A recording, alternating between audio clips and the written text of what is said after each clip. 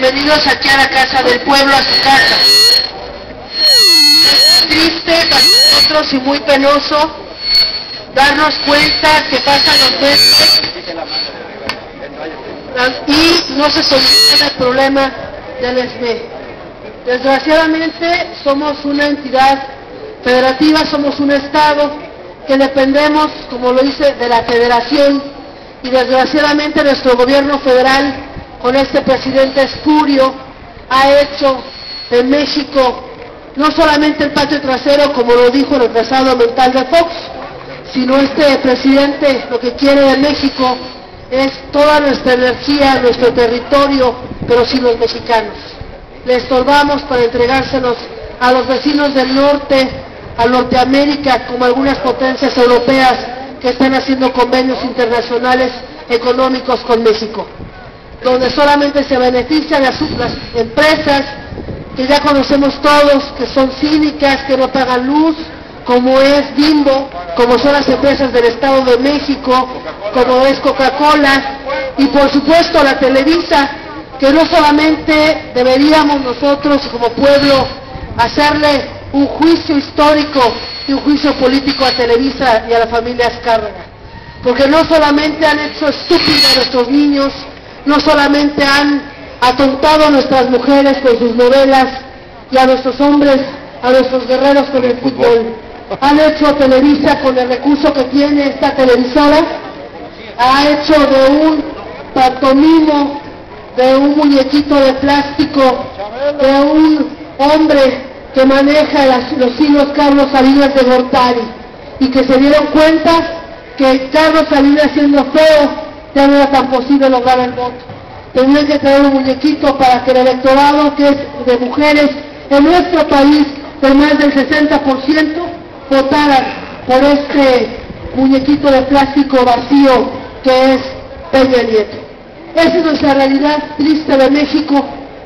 Alguien decía que le decía, le preguntaban a tío Sam que cuándo iban a conquistar México, que cuándo entraría su ejército para apoderarse de las tierras, apoderarse de las fábricas, de nuestra energía. Y contestó tío Sam burlonamente, no hace falta, México ya lo conquistamos. A las mujeres con las, con las telenovelas, a los hombres con el alcohol y el fútbol, y a los jóvenes con drogas y sexo. México ya está conquistado. Los tienen dormidos, los tienen drogados, los tienen alcoholizados, los tienen atontados, para que no sepamos cómo exigir el México que nos corresponde. Yo estoy orgullosa de estar junto a mis compañeros del ESME, porque son compañeros, son obreros, son trabajadores del partido en que nosotros representamos, en mi caso, pues como Partido del Trabajo, creemos que el trabajo es la actividad más digna del ser humano y que los sindicatos como los de la izquierda, como el ESME, son la continuación de gente honesta y trabajadora que se reúne para luchar por sus derechos constitucionales e universales. Y a pesar que ha vivido este asunto federal con Felipe Calderón, con este espurio, siguen en pie, siguen en lucha, tienen familia, tienen a sus hijos, son compañeros que de repente el gobierno federal les suspende sus pagos, son compañeros que están sin trabajo hace meses y que no hay ninguna respuesta por el gobierno federal. Es muy penosa la situación histórica y política de nuestro país, de nuestro Estado.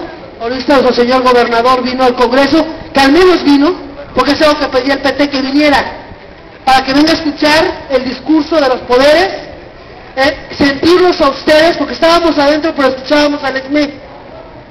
Y eso le permite recordar, permite recordar,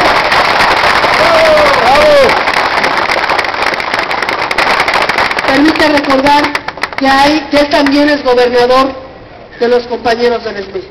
Él gobierna para todos. Y así que debe de sentir esa responsabilidad social y política de ver que hay morelenses que no tienen empleo y que hay morelenses que tienen una injusticia laboral que él debería de defender porque para eso es el gobernador del estado. Así que bueno, esta se fue en una gira Ruta Zapata, cuando yo creo que no hay ningún homenaje que hacer, que los héroes ya están muertos, que ellos ya dejaron la historia para que aprendamos de ella, que tenemos la revolución se hace ahorita, la revolución está aquí y los revolucionarios como nosotros tenemos que causar esta nueva revolución, que es una revolución ideológica. Ya no la podemos con las armas, ahí nos gana la delincuencia organizada, compañeros. Pero bueno, al menos una revolución ideológica para poder transformar nuestro país y nuestro Estado. Están pidiendo un exhorto, entiendo, vamos a, si me lo permiten ustedes, lo voy a trabajar con mi compañero Héctor Porcayo, vamos a pedir firmas de más compañeros y yo la presentaría el próximo martes con mucho gusto en el Congreso local.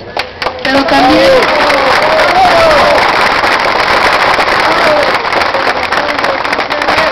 Habíamos pedido, compañeros, habíamos quedado con el gobierno que íbamos a ser más conscientes nosotros, por eso les agradezco. Han sido compañeros muy sensibles de no de tener calles y demás, pero había un acuerdo. Acuérdense que ellos con este presupuesto nos iban a ayudar para dar algún apoyo de alguna forma a sus familias. Algún apoyo mientras se restablecía su condición de trabajadores, ¿se acuerdan? Y esto cuando fuimos aquí en Salón de Comisiones quedamos, vamos a exigir de que se cumpla ese compromiso. Ese fue el acuerdo y eso fue, ustedes han respetado, no han parado, no porque no, hayan podido de falta de valor, son gente de lucha, no lo han hecho porque tienen palabra. Y si el acuerdo era que ustedes iban a tener un poco la manifestación, ellos iban a cumplir con las familias de ustedes. Entonces vamos a hacer eso, vamos a presionar otra vez, compañero Héctor. Hay que presionar porque cumplan esa parte que acordamos aquí en el salón de comisiones con el secretario de gobierno. Así que yo les pido, compañeros, que no se pongan tristes, que no decaigan, porque luchas como ustedes, así empezaron a despertar los, este tipo de movimientos sociales, así empezó Bolivia, ellos fueron con los sembradores, de los localeros, los campesinos, se unieron y así logró lograr Evo Morales la presidencia. Así empezó Venezuela, por supuesto, no sería Cuba, Movimientos como estos despiertan un país y a la juventud y nos hace otra vez recordar que somos un pueblo revolucionario. Así que no pierdan la lucha. Así es, revolución compañeros. Una revolución ideológica. No, se detengan, no se apaguen. Tenemos que seguir luchando de la mano y no están solos. Habemos de este lado gente que nos va a apoyar, compañeros, que estamos solidarios y somos revolucionarios aunque a la derecha les dé temor. La revolución es tan digna porque hace que el pueblo no se coma al pueblo. Tienen temor cuando no pertenecen a nosotros y nos odian, a los pobres, a los trabajadores, con mentalidad revolucionaria y progresista. Porque no nos van a dejar pisar y no vamos a darles a nuestro país para que se lo acaben. Lo vamos a México, lo vamos a defender.